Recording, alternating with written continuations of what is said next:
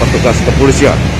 Mengadakan kegiatan penindakan masalah menggunakan knalpot yang racing langsung dipimpin Direktur Lalu Lintas Polda Metro Jaya khususnya di wilayah DKI dan sekitarnya Depok, Bekasi, Tangerang. Wilayah-wilayah penyangga diadakan penindakan yang menggunakan knalpot racing terima kasih dan selamat melaksanakan aktivitas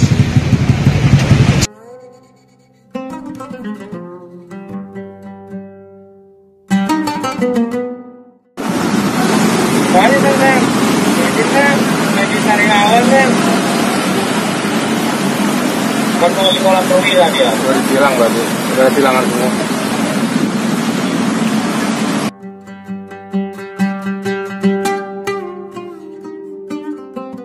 Nah ini adalah menunjukkan bahwa kita menyelamatkan anak bangsa, menyelamatkan generasi muda kita dari perilaku berkendara yang beresiko yang dapat menimbulkan kecelakaan lalu lintas dan membahayakan tidak hanya bagi diri sendiri maupun orang lain. Terlebih ini kita masih dalam masa pandemi COVID-19.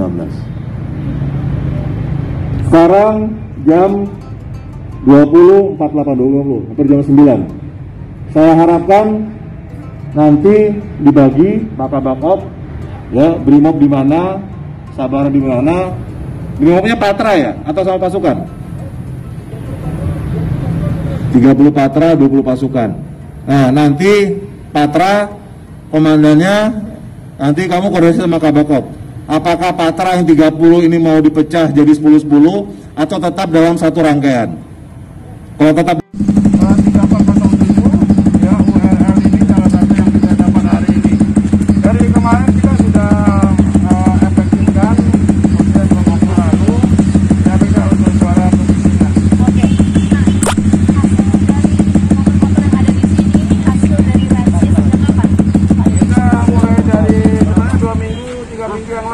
kita udah mulai razia sebenarnya operasi itu udah lama pak itu tiap malam satu malam minggu dia udah kita operasi cuma diefektifkan lagi kalau ada tanda-tanda peningkatan kita efektifkan tiga minggu yang lalu demikian pak Jadi ada sejak tiga minggu yang lalu. Nah ini trennya bagaimana Pak untuk razia dari kenapa bisnis sampai hari ini? Apakah ada penurunan, peningkatan atau seperti apa? Ya alhamdulillah.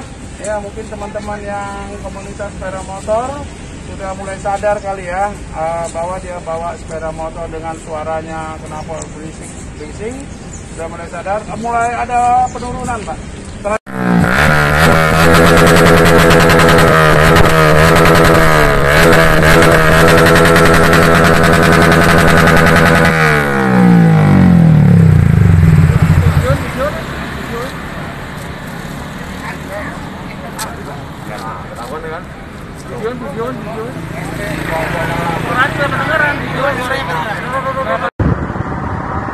Selamat pagi Komandan.